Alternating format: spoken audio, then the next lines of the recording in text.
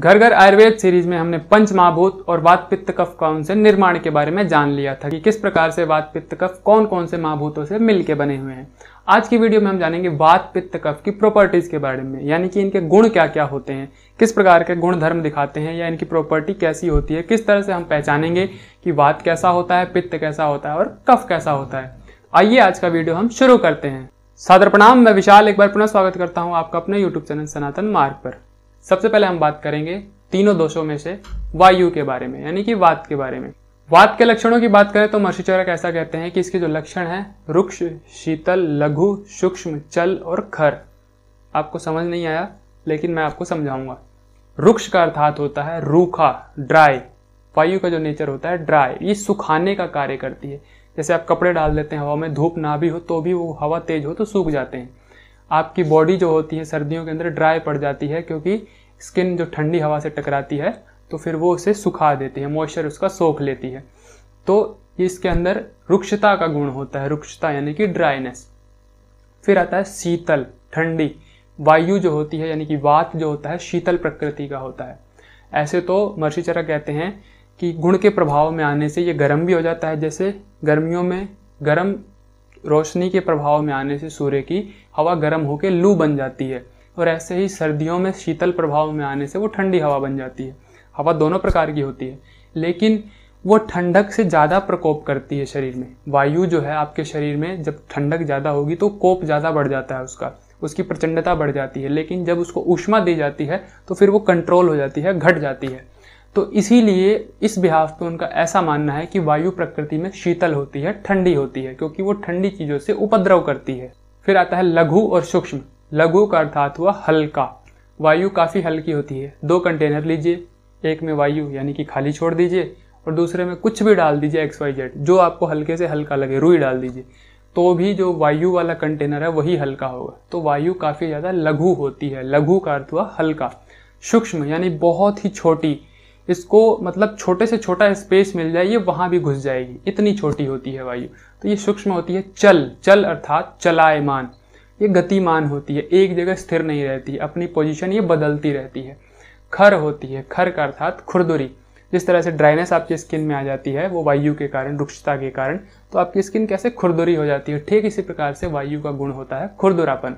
तो ये वायु की प्रॉपर्टीज़ होती हैं। फिर ऐसे ही यदि आप वात को कंट्रोल करना चाहते हैं तो इसके प्रॉपर्टी के अगेंस्ट आपको जाना पड़ेगा। यानी कि जैसे ये ड्राई है ड्राई है, रूखी है तो आपको स्निग्ध यानी चिकनी चीज़ों का प्रयोग करना पड़ेगा। ये शीतल है, ठंडी है तो आपको उष्ण चीज़ों का प्रयोग करना पड़ेगा। ये लघु है, हल्की है तो आपको भारी चीज़ों का प्रयोग करना पड़ेगा। यानी कि इसको काउंटर अटैक करेंगे तो ही जाके वायु कंट्रोल होती है, या कोई भी दोष होता है उसकी प्रॉपर्टी के अगेंस्ट जब हम जाते हैं तो उसे हम कंट्रोल कर सकते हैं। आयुर्वेद इसी सिद्धांत पर कार्य करता है। फिर हम बात करेंगे पित्त दोष की। पित्त दोष जो होता है, जल तथा अग्निमाभूत से मिलकर बना होता है। इसके गुणों की बात करें, यानी प्रॉपर्टीज़ की बात करें तो महर्षि चरक ऐसा कहते हैं, ये हल्का स्निग्ध और हल्का रुक्ष होता है। यानी कि ना ही पूरा चिकना होता है, ना ही पूरा रूखा होता है, मध्यम का होता है। यह प्रकृति में उष्ण होता है, यानी कि गर्म होता है, नेचर में गर्म होता है। वायु जो थी, नेचर में ठंडी थी यानी वात ठंडा था और पित्त जो है प्रकृति में उष्ण, गर्म होता है। यह द्रव होता है, यानी कि बहने वाली कंसिस्टेंसी का। वायु, यानी कि एयर हो गई, ये द्रव, पानी लिक्विड की तरह बहने के, बहने वाला कंसिस्टेंसी का होता है। ये अम्ल होता है, यानी कि एसिडिक इसका जो नेचर होता है, वो एसिडिक होता है। ये सर गुण का होता है। सर यानी कि सरकने वाला, आपके शरीर से बहने वाला, जैसे लिक्विड बहता है ना, ढलान पाके, ठीक इसी प्रकार से ये हमारे शरीर से सरकने वाला, आगे की ओर बढ़ने वाले गुण का होता है। यह तीखा होता है। तीखा यानी किसी चीज़ को भेद के आगे बढ़ जाने वाला, किसी चीज़ को तोड़ फोड़ के आगे निकल जाने वाला। यह गंध युक्त होता है। गंध यानी कि इसके अंदर स्मेल काफ़ी तेज होती है। तो ये सभी जो पित्त के इसके अंदर लक्षण बताए गए हैं। तो ऐसे ही पित्त को बैलेंस करने के लिए इसके प्रॉपर्टीज़ के अगेंस्ट जाना पड़ता है। जब पित्त का उपद्रव हो जाता है हमारे शरीर में तो जो इसके गुण है, यानी कि जैसे ये गर्म है तो हमें इसे ठंडी औषधियों से इसको बैलेंस करना पड़ता है। ये सर गुण का है, सरकने वाला है, चलने वाला है। तो इसको हम स्थिर चीज़ों से, यानी कि जो रुकने वाली चीज़ें हैं, उन चीज़ों से इसको बैलेंस करते हैं। फिर ऐसे ही अम्ल है, यानी एसिडिक है तो बेसिक चीज़ों से, यानी कि जो अम्ल क्षारीय चीज़ें होती हैं, उनसे फिर इसको बैलेंस किया जाता है। यानी कि किसी भी दोष को बैलेंस करने के लिए उसके प्रपोर्टिज के अगेंस्ट चले जाएँगे तो वो आराम से बैलेंस हो जाते हैं। फिर तीसरा दोष जो आता है, वो होता है कफ दोष। कफ दोष जो होता है, दो महाभूतों से मिलकर बना होता है, पृथ्वी और जल महाभूत। और इसकी जो सबसे पहली ही प्रॉपर्टी यानी सबसे पहला गुण होता है, वो होता है भारी। गुरुता। इसके अंदर, पदार्थ के अंदर कुछ ना कुछ तो वज़न होगा ही, हवा इत्यादि से ज़्यादा होगा। तो इसीलिए ये जो मैटर होता है, ये भारी होता है। कफ गुण, कफ के जो गुण होते हैं, सबसे पहले गुण में आता है भारीपन। इसका जो दूसरा गुण होता है, वो शीतलता, ठंडा। ये काफ़ी शीतल पोटेंसी का होता है। ऐसे ही ये स्निग्ध होता है, यानी चिकना। इसके अंदर चिकनाई होती है। पिच्छिल गुण होता है इसके अंदर, पिच्छिल का अर्थ होता है चिपचिपा। कोई भी चिपचिपी चीज़, चीनी आपने देखी होगी, जब उसको पिघला देते हैं तो वो चिपचिपी होती है। तो कुछ इस प्रकार की उसकी नेचर होती है कफ की। फिर इसका एक और नेचर होता है, यह मृदु होता है, यानी मृदु का अर्थात हुआ सॉफ्ट नेचर का होता है, काफ़ी मुलायम नेचर का होता है। ऐसे ही कफ को फिर बैलेंस करने के लिए, यानी कफ की जब वृद्धि हमारे शरीर में हो जाए, उससे कोई उपद्रव और दोष या रोग उत्पन्न हो जाए, उसको बैलेंस करने के लिए इसकी प्रॉपर्टीज़ के अगेंस्ट जाएँगे। जैसे ये भारी है तो हल्की चीज़ों का सेवन करेंगे तो कफ घट जाएगा। ये स्निग्ध है, चिकना है तो रुक्ष चीज़ों का सेवन करेंगे, घट जाएगा। मृदु है सॉफ्ट है तो खर, खुरदुरी चीज़ों का सेवन करेंगे। तो कफ घट जाएगा। तो ऐसे ही हम प्रॉपर्टीज़ के इसके विरुद्ध जाते हैं तो इसको भी हम शांत कर सकते हैं।